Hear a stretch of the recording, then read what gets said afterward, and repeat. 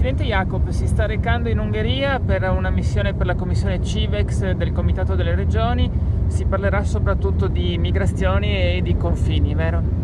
Beh, si parlerà delle misure che l'Ungheria ha messo in atto ai confini Schengen.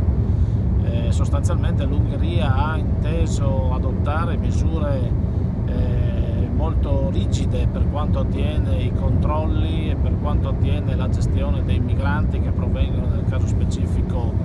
dalla Serbia lungo quella che viene denominata rotta balcanica.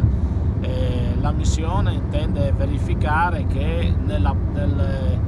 eh, adottare provvedimenti eh, di garanzia, provvedimenti di controllo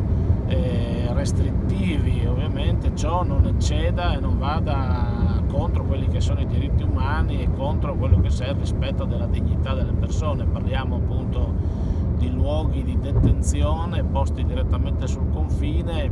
eh, piuttosto che eh, limitazioni molto importanti della libertà eh, di movimento e di asilo. Ma la missione della commissione CIVEX, della commissione CIVEX serve anche per valutare alcuni provvedimenti che ultimamente l'Ungheria ha adottato, il governo ungherese, la limitazione della circolazione degli studenti stranieri all'università eh, ungheresi, questo andrebbe contro il principio della circolazione appunto delle persone, soprattutto della cultura e dell'istruzione